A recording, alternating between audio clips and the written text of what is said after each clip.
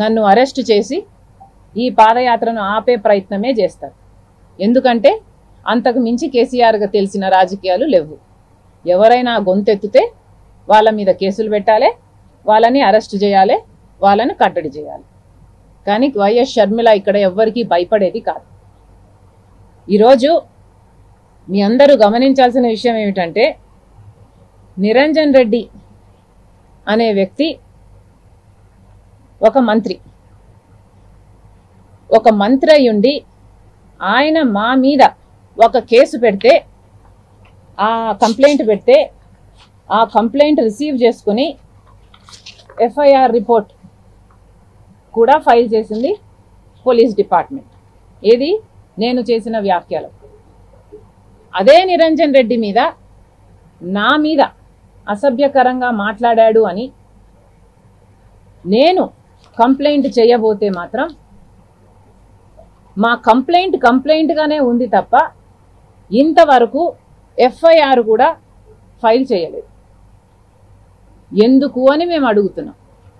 అసలు ఈ నిరంజన్ రెడ్డి అనే వ్యక్తి ఏం మాటలు మాట్లాడితే అసలు ఈ నిరంజన్ రెడ్డి అనే మనిషికి ఉన్నది నోరా మోరియా? అసలు ఆ నోట్లో నుంచి ఎంత పడితే అంత మాటలు మాట్లాడతాడు ఈ నిరంజన్ రెడ్డి. పరాయి స్త్రీలో ఒక తల్లినో ఒక చెల్లినో చూసే సంస్కారం లేని సభ్యత లేని సంస్కారహీనుడు ఈ నిరంజన్ రెడ్డికి ఒక వీధి కుక్కకి ఏమిటి తేడా అని మేము అడిగాం. మేమేమైనా తప్పడిగామా? ఈయన మా మీద కమెంట్ చేస్తే మరదలు అంటే ఎవడ్రా నీకు మరదలు అని అన్నాం. మేమేమైనా తప్పు చేసామా తెలంగాణలో ఏ మహిళనైనా అడగండి. అమ్మా మీ తల్లినో మీ బిడ్డనో ఎవడైనా మరదలు అంటే మీరేం చేస్తారు అని. చెప్పుతో కొడతారా? లేకపోతే వీధి కుక్క అని తిడతారా? చెప్పుతోనే కొడతామన్న సమాధానమే వస్తుంది. ఇంకా నేను మాటలతోనే ఆపాను. నిరంజన్ రెడ్డి అనేవాడు అసలు మనిషే కాదు. అసలు ఆ నోటికి అదుపే లేదు.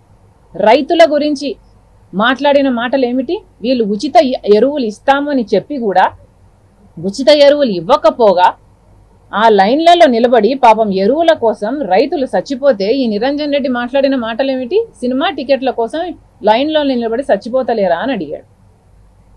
ఈయన ఇలాంటి వాడు అసలు రైతుల మీద ప్రేమే లేని నిరంజన్ రెడ్డి వ్యవసాయ మంత్రి. ఇక వ్యవసాయ శాఖ ఏం బాగుపడుతుంది? నిరుద్యోగులు మాకు ఉద్యోగాలు ఇవ్వండి అయ్యా అని అడిగితే ఏం మాట్లాడాడు ఈ నిరంజన్ రెడ్డి? ఈయన మాట్లాడిన మాటలు తెలంగాణలో హమాలి పనికి మించిన పనే లేదట అందరూ హమాలి పని కూడా చేసుకోవచ్చు కదా అని అడిగారు ఇందుకేనా తెలంగాణ తెచ్చుకుంది? డిగ్రీలు పీజీలు చదివిన బిడ్డలు హమాలి పని చేసుకోవడానికా? ఇదేనా మీ బంగారు తెలంగాణ? మరి హమాలి పని అంత గొప్ప పని అయితే మరి మీకెందుకు మంత్రి పదవి? మీరు కూడా రాజీనామా చేసి మీరు కూడా హమాలి పనే చేసుకోవచ్చు కదా? మీరేమో రాజ్యాలు ఏలాలి. కేసీఆర్ గారి కొడుకు బిడ్డ అల్లుడు మేనల్లుడు ఇంగోరు అందరూ రాజ్యాలు ఏలాలి. ఐదు ఆరు తరగతి చదవ చదవని వాళ్ళు కూడా మంత్రులు ఎమ్మెల్యేలు కావాలా? కానీ డిగ్రీలు పీజీలు చదివిన వాళ్ళకి మాత్రం మీరు నోటిఫికేషన్లు ఇవ్వరు ప్రైవేట్ రంగంలో ఉద్యోగాలు సృష్టించరు. కనీసం కార్పొరేషన్ల ద్వారా మాకు లోన్లు ఇవ్వండి మా కాళ్ళ మీద మేము నిలబడే ప్రయత్నం చేస్తామంటే కనీసం అది కూడా చేయరు వీళ్ళ మంత్రులు వీళ్ళ నాయకులు ఇలాంటి నిరంజన్ రెడ్డి మీద నేను నా మీద కేసు వేశాడు కాబట్టి నా మీద కేసు వేశారు కాబట్టి నా మీద నిరంజన్ రెడ్డి కేసు వేయడం జరిగింది దానికి ఎఫ్ఐఆర్ ఇవ్వడం కూడా జరిగింది.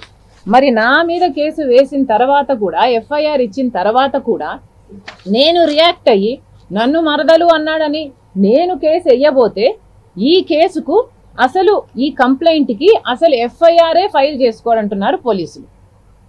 ఎందుకని?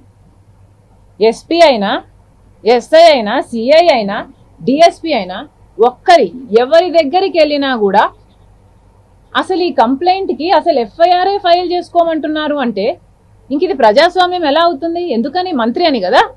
అంటే ఒక మంత్రి మీద కేసు వేయకూడదా? ఒక మహిళను అవమానిస్తే నా ఆత్మాభిమానాన్ని దెబ్బతీస్తే ఒక మహిళని అవమానిస్తే నేను కళ్ళు మూసుకొని నేను చెవులు మూసుకొని దిగమింగుకొని అలాగే బతకాలనా? అంటే మహిళలకు హక్కులు లేవా? అంటే మహిళలు మనుషులు గారా? సగభాగం కాదా పాపులేషన్లో? ఏమిటి ఏం చెప్పదలుచుకున్నారు మీరు? ఒక మంత్రి మీద కేసు వేయబోతే మీరు అసలు ఎఫ్ఐఆర్ఏ ఫైల్ చేసుకోరా? గత ఎన్ని రోజులుగా మేము ప్రయత్నిస్తూనే ఉన్నాం ఇప్పటికి ఐదారు రోజులైందా వారం రోజులైందా? మేము ప్రయత్నిస్తూనే ఉన్నాం ఎఫ్ఐఆర్ ఫైల్ చేసుకోండి ఎఫ్ఐఆర్ ఫైల్ చేసుకోండి అని ఏ లెవెల్లో అడిగినా కూడా ఎఫ్ఐఆర్ ఇంతవరకు ఫైల్ కాలేదు. ఎందుకని అని అడుగుతున్నాం. అంటే మంత్రుల మీద కేసులు వేయకూడదా సామాన్యులు? మంత్రుల మీద అయితే మీరు కేసులు తీసుకోరా? ఇది ఎక్కడి న్యాయం? మరి ఎందుకు? మీరు డిక్లేర్ చేసేయండి. ఇది ప్రజాస్వామ్యం కాదు ఇది తాలిబాన్లు మేమే తాలిబాన్లు ఇక్కడ మేము చేసిందే చట్టం ఇక్కడ మేము చెప్పిందే ఇక్కడ చట్టం ఆడోళ్ళకి అసలు విలువే లేదు ఇక్కడ. తాలిబాన్లు చేసినట్టే చేసేయండి మీరు కూడా. అంతే కదా అక్కడ ఆడోళ్ళకి ఏం విలువ లేదు కదా ఇక్కడ కూడా మీరు అదే చేస్తున్నారు కదా మీకు తాలిబాన్లకు ఏమిటి తేడా? కనీసం ఒక కంప్లైంట్ ఇస్తే ఎఫ్ఐఆర్ కూడా మీరు ఫైల్ చేసే ఇంగితం సోయి కూడా మీకు లేదు అంటే ఇక మీరు బతికేం లాభం? మీరు మహిళలకు ఇస్తున్న గౌరవం ఏమిటి? విలువ ఏమిటి? రక్షణ ఏమిటి? మీకెందుకు నాయకులు? ఎందుకు ముఖ్యమంత్రి? ఎందుకు మంత్రులు? ఎందుకు ఎమ్మెల్యేలు? ఎందుకు యంత్రాంగం అంతా? సగ భాగమైన పాపులేషన్లో మీకు మీరు సెక్యూరిటీ కల్పించలేనప్పుడు రాజశేఖర్ రెడ్డి బిడ్డను నేను అంటే ఒక చీఫ్ మినిస్టర్గా ఉన్న బిడ్డ ఒక మంత్రి మీద కేసు ఫైల్ చెయ్యబోతే మీరు ఎఫ్ఐఆర్ కూడా రిజిస్టర్ చేసుకోము అంటుంటే ఇక సామాన్య ఒక కేసు ఇస్తే వీరు ఫైల్ చేసుకుంటారా అండి? ఒక సామాన్య స్త్రీయో ఒక సామాన్య మనిషో పోయి ఒక ఎమ్మెల్యే మీదనో ఒక మంత్రి మీదనో ఒక రిపోర్ట్ చేస్తే వీళ్ళు ఫైల్ చేసుకుంటారా? చేసుకునేటట్టు ఉందా పరిస్థితి? ఆన్సర్ మీ మీరైనా చెప్పండి మీడియా వాళ్ళైనా చెప్పండి. చేసుకునే పరిస్థితి ఉందా ఈరోజు తెలంగాణలో? వాస్తవంగా లేదు కదా? ఎక్కడికి పోతుంది సమాజం? ఆడవాళ్ళంటే అసలు గౌరవం ఉందా? మహిళలని చూడకుండా పోడు భూముల కోసం ఆడవాళ్ళు కొట్లాడితే జుట్లు పట్టుకొని పీకి జీపులలో ఎక్కించి జైళ్ళలో ఇష్టం వచ్చినట్టు కొట్టారే. మరియమ్మ అనే దళితురాలిని జైల్లోనే చంపేశారే. అసలు బాలికలకు ఆరేళ్ళు పదేళ్ళు పద్నాలుగేళ్ళ బాలికలకు కూడా రక్షణ లేదే. ఇక ఎందుకు ఉండాలి ముఖ్యమంత్రి?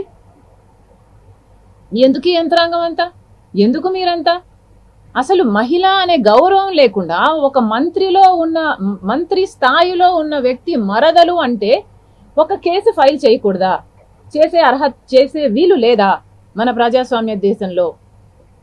కేసీఆర్ గారు యాక్షన్ తీసుకోగలరా? ఏం చెప్పాడు కేసీఆర్ గారు ఉద్యమం అప్పుడు? మహిళలు కళ్ళెత్తి చూస్తే తోలు తీస్తా గుడ్లు బీక్తా అన్నాడు కదా. మరి ఉందా కేసీఆర్కి ఆ దమ్ము?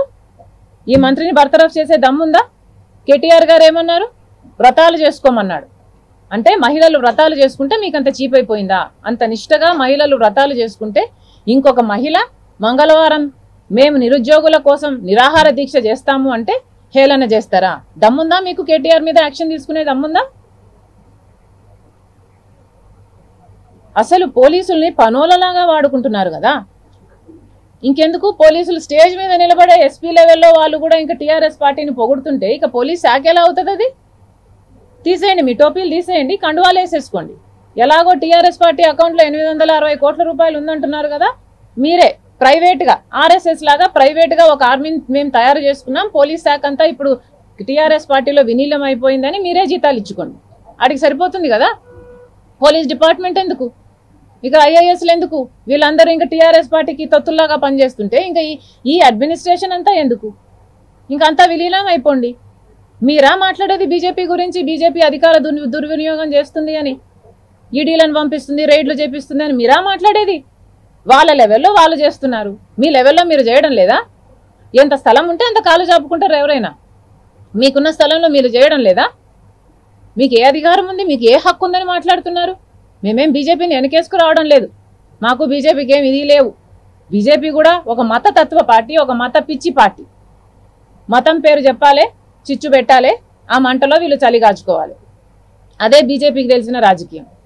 కానీ బీజేపీ కంటే ఏమి టీఆర్ఎస్ పార్టీ బెటర్ ఏం కాదు. ఎక్కడికక్కడ వీళ్ళ అధికారాన్ని వీళ్ళు దుర్వినియోగం చేస్తున్నారు. గొంతు లేసిందంటే చాలు వాళ్ళ మీద కేసులు పెట్టాలి వాళ్ళను జైళ్ళల్లో పెట్టాలి వాళ్ళను అరెస్టులు చేయాలి. ఇదే కదా చేస్తున్నారు కేసీఆర్ గారు. మీకు బీజేపీకి ఏం తేడా? అంతా ఒకే తాను ముక్కలే కదా? అందరూ రాజకీయాలే చేసుకుంటున్నారు కదా?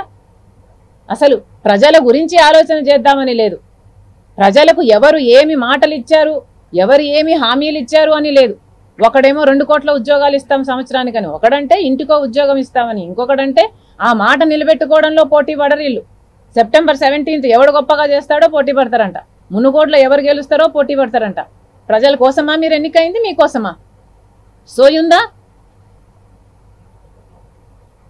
ఈరోజు రాజశేఖర్ రెడ్డి బిడ్డ రెండు వేల కిలోమీటర్ల పాదయాత్ర పూర్తి చేసుకుని ఎండనక వాననక ఇల్లు వాకిలి కుటుంబము అన్నీ పక్కన పెట్టి రోడ్ల మీదనే బతుకుతున్నాం.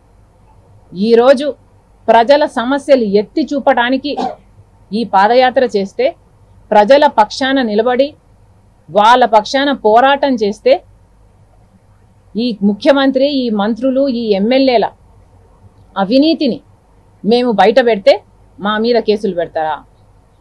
మమ్మల్ని అరెస్ట్ చేస్తారా? ఏది చేయండి? మీకు దమ్ముంటే చేయండి.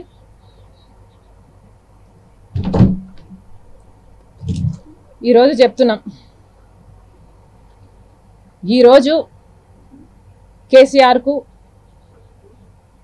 చెప్తున్న మాట నాకు బేడీలంటే భయం లేదు. మీకు దమ్ముంటే నన్ను అరెస్ట్ చేయండి. మీకు చేతనైతే నన్ను అరెస్ట్ చేయండి. గుర్తుపెట్టుకో కేసీఆర్ నా పేరు వైఎస్ షర్మిల. వైఎస్ఆర్ రాజశేఖర్ రెడ్డి బిడ్డను. పులి బిడ్డను. నాకా భయం? వైఎస్ఆర్ బిడ్డను. ఈ బేడీలు నన్ను ఆపుతాయా? రాజశేఖర్ రెడ్డి గారిని కుట్ర చేసి చంపారు. నన్ను కూడా చంపగలరు. కానీ బ్రతికున్నంత కాలం ఊపిరి ఉన్నంత కాలం ప్రజల నుంచి నన్ను వేరు చేయడం ఎవ్వరి తరమూ కాదు. నీ అవినీతి పాలన గురించి మాట్లాడడం నా గొంతు నొక్కడం నీ తరం కాదు. ఆపడం నీ తరం కాదు. ఉన్నారు కదా మీ పోలీసులు? మీ పనులలాగా వాడుకుంటున్నారు కదా? పంపండి. మీ పనులను పంపండి. నన్ను అరెస్ట్ చేస్తారా? మీకు దమ్ముందా? చేయండి. నీతో నీ పోలీసులు ఉంటే నాతో ప్రజలు ఉన్నారు ఇక్కడే ఉన్నా. పాదయాత్రలో ఉన్నా. జనం మధ్య ఉన్నా. జనం కోసం పోరాడుతున్నా. మీకు దమ్ముంటే నన్ను అరెస్ట్ చేయండి. ఎవరిని పంపుతారో పంపు. కేసులు పెట్టారు కదా కంప్లైంట్లు చేశారు కదా నేను రెడీ. మీ రెడీయా? దమ్ముంటే నన్ను అరెస్ట్ చేయండి.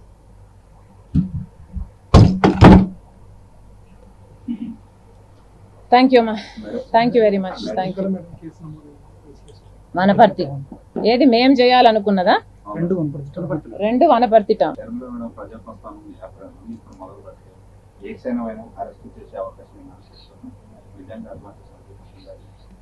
ఉందనే అనిపిస్తుంది. పాలమూరు రంగారెడ్డి ప్రాజెక్టు కోసము మేము మహబూబ్ నగర్ టౌన్లో దీక్ష చేస్తే ఏ దీక్షకు లేనంత పోలీస్ బందోబస్తు ఆ రోజు మాత్రం ఉంది. పెద్ద van full of police intelligence అన్నారు పోలీస్ ఫోర్స్ అన్నారు లిఫ్ట్ చేయడానికే వచ్చాము అన్న ఇన్ఫర్మేషన్ కూడా ఉంది. బట్ ఫర్ సమ్ రీజన్ అది జరగలేదు. కానీ రోజు రోజు ఈ బెదిరింపులు ఏమిటి? రోజు ఈ రోజు చేస్తాము రేపు చేస్తామేంది మీకు దమ్ముంటే చెయ్యండి రాదు. అదే కదా చెప్తున్నా. మీకు దమ్ముంటే చెయ్యండి